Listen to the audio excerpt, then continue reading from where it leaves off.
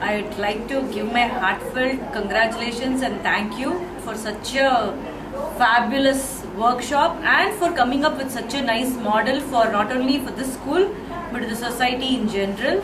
This is an amazing session where we learn to know how to do what we do already. Yet it was such a profound shift in our paradigm. I wish more and more parents come to such programs and make this society a better for the younger generation. Thank you so much. The session is very nice and very.